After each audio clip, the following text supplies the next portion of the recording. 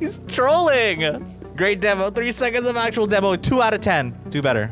It's 2022 now, and there's so many places online that you can learn how to produce music. But how do you know which tips or advice are actually helpful? Good thing you clicked on this video because I've been producing for long enough to know what's good or what you probably need to avoid. Hi, I'm Ash. Welcome back to my channel. Now, if you're dopamine starved like me, the best place at the moment to get your fix is the number one app and website of 2021, TikTok. This cursed app's algorithm, I swear. However, TikTok is notorious for having a bit of a misinformation problem. And being a producer, I wondered what kind of advice are the music production Zoomers given over there? So, of course, I went to check it out for myself and uh, found some, well, you'll see. By the end of this video, you'll know which types of tips to follow and which to avoid, since I've so thoughtfully and scientifically rated them for you. Sees a 1 to 10 scale. You might be surprised by the results. Here's how it went. How to make a basic recording setup for under $500. Oh, what? $100. Wait, wait, wait. Twenty-nine ninety-nine. But he's he's saying to use Pro Tools. If you're gonna start with a DAW, don't start with Pro Tools. Like Ableton is a free 90-day trial. It's under $500. He doesn't factor in the cost of the computer either. Acoustic foam panels aren't needed until you like know know know what you're doing. Slow tools, yeah, dude. The only reason Pro Tools is industry standard is because it's been used for so long, and it's good for like live shit. But people who use Pro Tools are switching over to Logic anyway, if you're going to be doing anything involving live instruments. So, oh no. Okay, yeah, that's a that's a strong three out of ten. He had me in the first half here. Like this is a pretty good starter uh, interface. I recommend the Motu M2 over it, just because it's got loopback and it's got way less latency. So that's my take on that. And this is why Logic is a superior DAW for workflow. Put Space Designer on it. It's just a stock reverb plugin, and it's actually got a reverse button. Oh no shot. Now this is what it sounds like. Okay, all right. Okay, they got me there. It's like five more steps in Ableton to do that. He proved it. Eight out of ten. Good job, Lost Leo. Free plugin. Yo, Dope what's good? AF. Let me put you onto this free plugin called Micro Presets. Listen, I hate when they do this with the videos. They just keep zooming in. What was that? free- It's free. Just talks about it. Doesn't even show what it sounds like. He's trolling. Great demo. Three seconds of actual demo. Two out of ten. Come on, bits. Do better. Compression is a huge part of mixing, but there's so many different applications for it. So as a series, we're going through all of them. Type which one you want to see in the comments first, like and follow. Not even a hint. Ugh. How to make one of those sad boy, fuck boys, alternative trap songs. First thing, more important than the music, you must become a sad boy. Wear something around your neck. It can be anything, just like you. Doesn't have to be a value. Oh, this guy's Temporary face memeing. tattoos. Muffle that beat on the verse. This guy really in Pro Tools right now. Program an 808 to go behind it. Power chords on an acoustic. This guy's just trying to meme. Zero out of ten. Cause like if you're memeing, at least be funny. My face the whole time. You have to be active on social media to make it in music. As an artist, producer, an engineer, whatever it is. I've actually posted about this before, and at this point, some of my own, like, I, I disagree with some of my own previous viewpoints. I'm going to post about it again, but I thought I'd ask the World Wide Web first. What do you- No, it's not even a tip. He's just it's just trying to start a conversation. What's my take on that is? Yes, be active. There's a lot of artists that don't get discovered who are extremely talented because they don't know how to market themselves and they don't know how to put themselves on social media and get people's attention. And you see a lot of artists who aren't very good at all who are killing it because they know how to present themselves on the internet. That's something I'm still trying to learn how to do something I'm trying to get better at. If you want to take this shit seriously, yeah, you have to be on social media. This is a good comment here. You don't have to be active, but if you aren't, you are leaving money on the table. Exactly. Like you don't have to be freaking posting every day, like straight up influencer type until you're like blown up, blown up. But like having some kind of presence and consistent presence so that people will find you. And if they see your name, they're like, "Oh, I know who that is. I'm going to listen to their thing." I wanted to share my mixing process for mixing drum. So the first thing I do is just listen to the beat. Pro tip, guys: if you're mixing drums, listen to the beat. And from there, I just reduce the volumes of the sounds which I think are too high. For example, it's a snare over here, and then the hi hats. So that's just doing by ear. And after Actually, that's really good advice. Because a lot of y'all get caught up in mixing by like, what's EQ, what's compression, what's panning, what's all this. When mixing, at the end of the day, is literally what he just said. Oh, this thing's a little bit too loud. Let me turn it down. Let me get everything kind of balanced out first. That's where you start with mixing. I like this guy. After that, what I do is I open up Fruity Limiter, which is on the master, and I look at the waveform of the drums. So what I try to do is keep the kick the highest in volume. Gain staging, yeah, I guess that's the name for it. I just call it freaking just balance everything out. Because gain staging is a, like is another term that confuse people. waveform, so I will reduce that. Okay, to me this sounds good, so together with the melodies it sounds like this.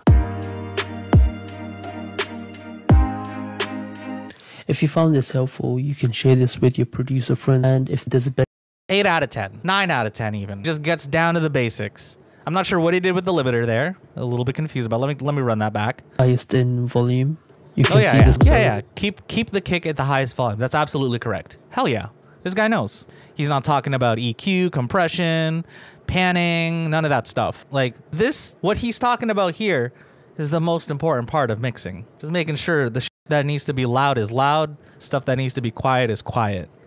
That's all, and everything balanced. Here's how to make drum and bass in like 15 seconds. Start by choosing a tempo around 174 BPM.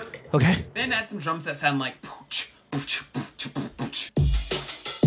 Wait, hang on. I think that's a little bit too complex for a drum and bass beat.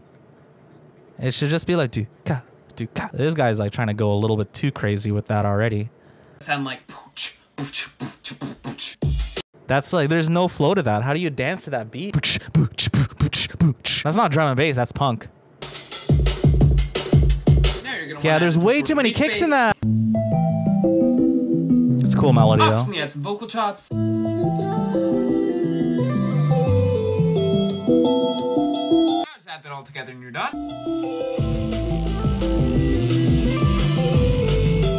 Oh, this is messy. No, it's so messy. Where's the sidechain, bro? Three out of ten. He really didn't nail it on the drums part of the drum and bass. Rare miss. nope, he says. Oh no, terrible. Nope, this guy's. Oh no. I like the melody, and I think the the bass is doing too many things too.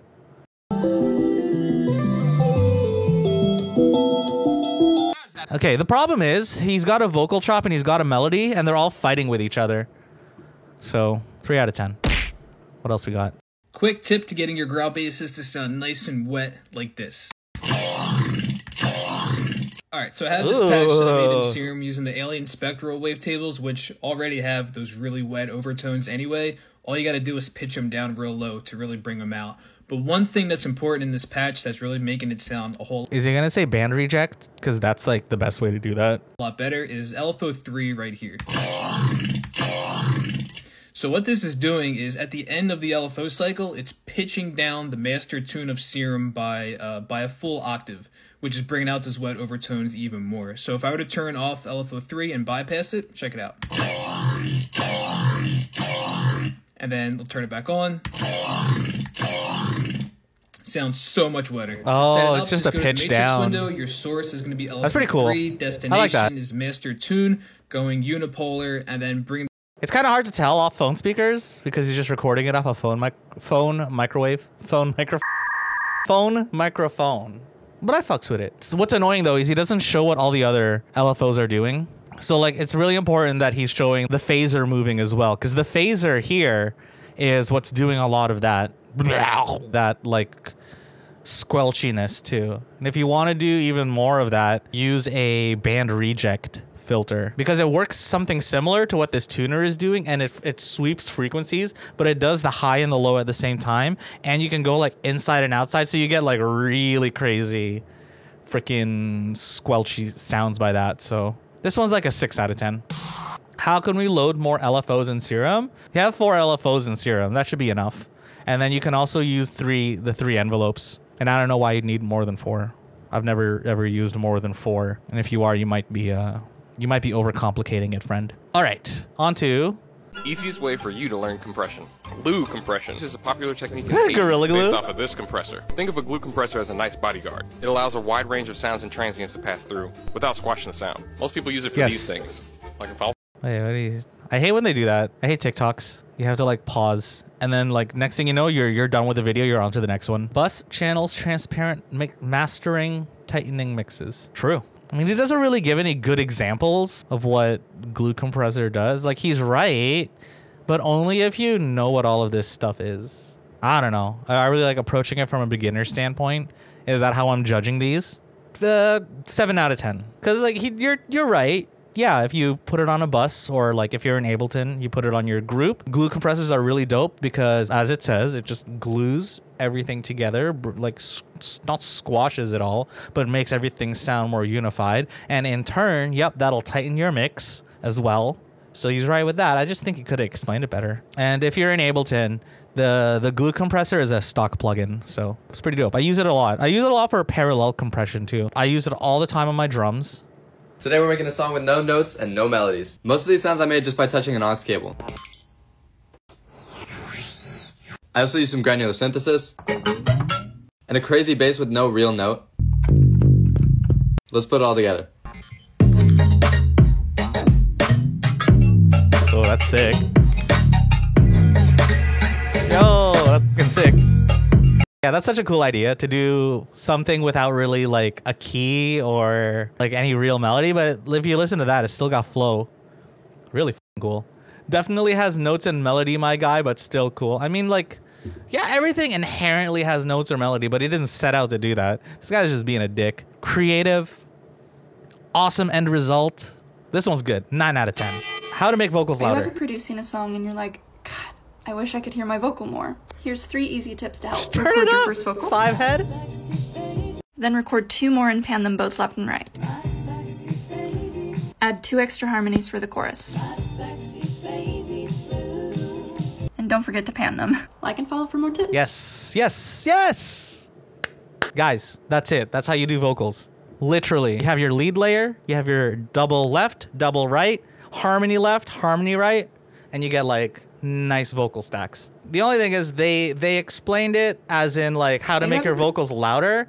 I think what they were trying to say is how to stack vocals properly or how to record vocals properly.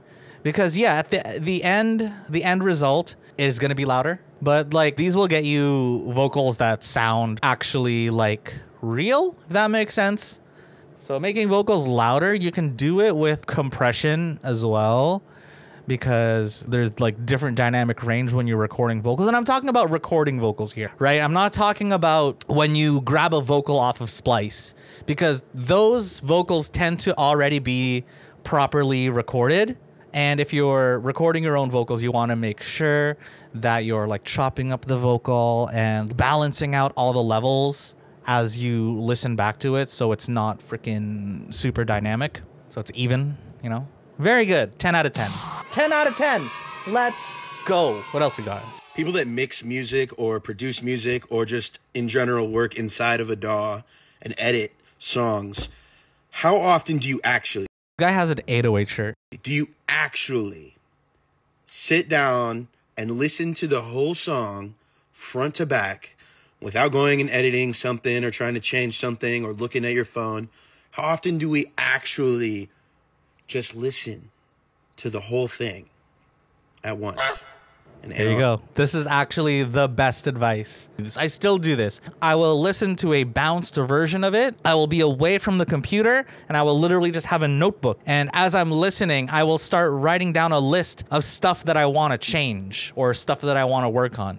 Because the problem is, if you do that inside of Ableton or inside of FL, wherever you are, and you start doing your edits as you hear them, you get caught up in just that one edit or that one little task that you're working on and you just lose all that momentum to get the rest of the song done. And you have you like run the risk of like ruining the song because you're not you're not making significant changes. Let me spend the next 15 minutes trying to adjust this loud snare. Instead of listening to the whole thing, like I said, I have my notebook and I'll write down, oh, snare is too loud. Continue listening to the song. And then when I finish the bounce test, then I can go back to it. Then I have a big list of stuff that I need to fix or change. And you're just so much more efficient that way. And it brings your song closer to being finished. So this tip, absolutely 10 out of 10. Let's freaking go. Henry with a three. Amazing. If you're into 808s, you probably know the bass is made with a sine wave. But what if it were made with a square wave? We're about to find out. Skrillex does this. Sound science. You can see that this patch was made with a classic sine wave. For Ew, I don't like how he's talking into the mic. This is how you make a sine. And turn up oscillator 1. Why are you talking like that, bro? To a square wave. Now we'll bring the high end down. This is hyperpop. Overall level. Heckin' love more Kismet. For the fact. For the past few months, people It is more Kismet. Hannah Montana, and I never fully understood why. But now that I think about it, on one day I am currently suffering through my economics class, and the next I'm doing this. Heckin' love more Kismet. If you're an artist and you have this overlooked habit, you are shooting yourself straight in the foot. 99% of you have not thought about this, I guarantee. Okay. you. Why are your favorite artists your favorite? Because they're the best? No. Otherwise, Kanye West would be everybody's top pick, obviously. I'm just playing. I know you almost got triggered, though. I almost got you. What I'm trying to say is, you like people because of their unique qualities, not because they're the best at something. Oh, that's facts. Guys, did you hear what he said? This is another 10 out of 10 tip for anybody who is like maybe a little bit not self confident in themselves. It's not about being the best at something, it's about like focusing on your own unique qualities that'll make you stand out. So what should you have on your vocal chain? Let's talk about it. So for this video, I want to try and give you a few things to think about when making your own vocal chain rather than just a bunch of random plugins that probably won't mean much. So the first thing I'd recommend is just listen to the vocal a few times in the song and really just try and identify the problems without looking at an analyzer. So, you know, does it sound a bit too roomy? Is there some resonances in the high mids or low mids that you want to attend to? And yeah, just really identify the problems using your ears, I guess. And then the second thing I like to think about is dynamic. So how dynamic is it currently? Do you need to control it? Do you need to make it more dynamic? And then what are you going to reach for to do that? Is it going to be some compression, some automation, some clip gaining? Um, yeah, just thinking about that. The third thing I usually think about is just color and tonality of a vocal and how we can sort of enhance that to have a better relationship with the song. So, you know, it could just be a case. He sounds like he's just saying words. I think it's giving good advice, but I can't tell. You know those people who try to give music advice, but it sounds like they're just trying to show off how much they know? That's this guy. Um, so four out of ten. Here's the best way to sidechain in less than 10 seconds. Start by grabbing the sound you want to sidechain, then grab your thing you want to sidechain it with. Now here comes the sauce. Go to your pattern view and make a selection that is the length of your sidechain source. Yep. Right click on the volume of the thing you want to sidechain and hit create automation clip. This automation clip controls the volume of the thing we're sidechaining. Now drag the beginning down and voila. You want a more or less aggressive sidechain, just mess with the curve. FL sidechain using the little clips is kind of cool. But you can do the same thing in frickin' Ableton with utility. And then I do I do duck just to to automate everything so I don't have to frickin' do this every time. But that's just me. I'm just lazy. Never automate volume slider in FL. It's gonna mess up everything. Oh, true. See, I don't. I didn't know that. Okay, so that that way to sidechain is probably like because because Oscar says to use fruity balance and not. Oh, there. It's in the comment right here. I just wanted to explain this style of sidechain mainly, but like you're gonna, if you do that, you're gonna make people's lives harder. Why? All right, so I'll give this one four out of ten then.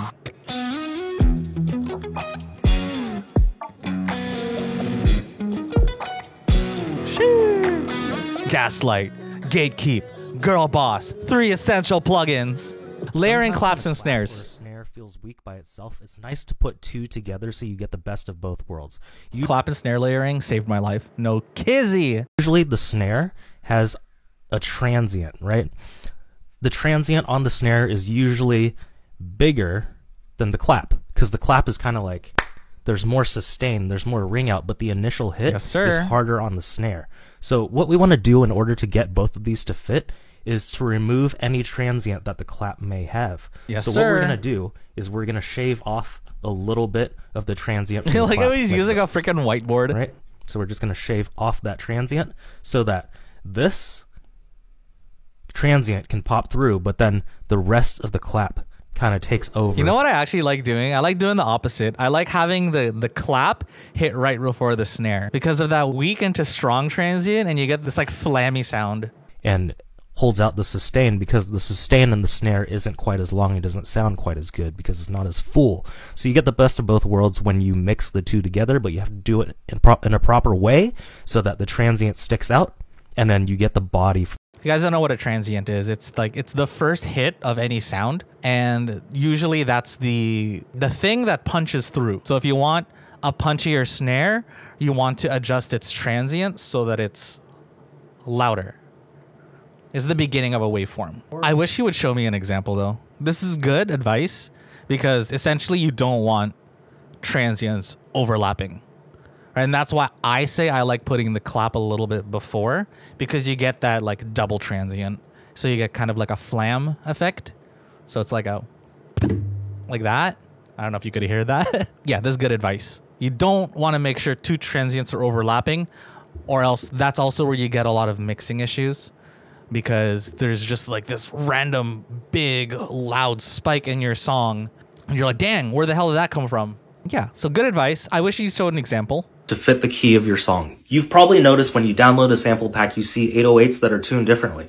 G sharp, D, E, C. They're all different and it causes a problem until you tune it properly. So if you have an 808 sample for this example, let's say it's a D. Okay, so every time you hit the home key, which is the C, it's actually going to be producing a D because that's what the sample is tuned to.